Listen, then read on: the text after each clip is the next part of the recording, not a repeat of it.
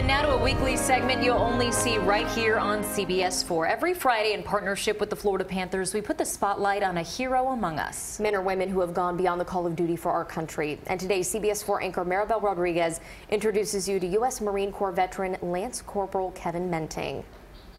He chose the Marine Corps as a challenge. That's what Lance Corporal Menting says after serving our country for four years from 2005 to 2009. This Purple Heart recipient was deployed twice, his first deployment Iraq, and says not knowing what to expect at first was tough.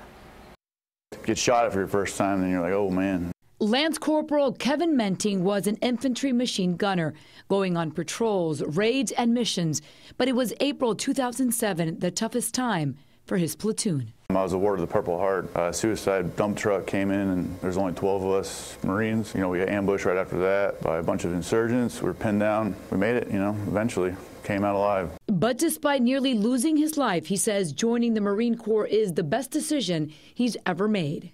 Um, I wouldn't be where I'm at right now if it wasn't for that decision. Ladies and gentlemen, as we honor America, Lance Corporal Menting was honored at a recent Florida Panthers game, and as he held his children and his wife by his side, he thanked the fan-filled arena for their standing ovation as he remembered those who paid the ultimate sacrifice for our country.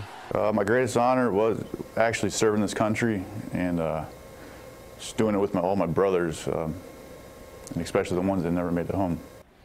On behalf of the Florida Panthers and CBS 4, we would like to say thank you, U.S. Marine Corps veteran Lance Corporal Kevin Menting, for your service and dedication to our country. Marybel Rodriguez, CBS 4, This Morning.